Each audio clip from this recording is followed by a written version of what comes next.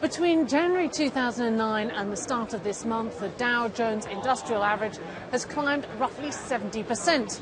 You might think that this astounding performance by the financial markets is a reflection of much stronger growth. But last Friday's employment report here in the United States provided a jolt, a reminder that America's economic recovery remains extremely weak. So, with Alcoa kicking off the earnings season this Monday, what can we expect?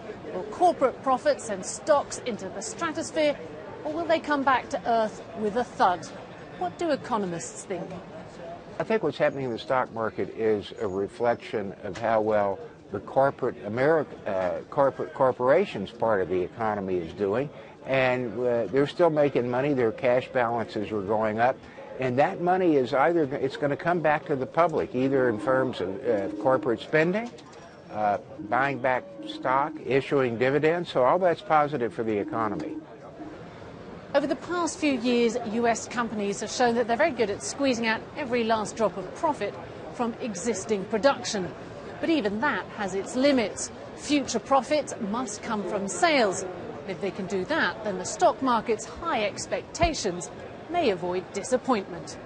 Michelle Fleury, BBC News, on the floor of the New York Stock Exchange.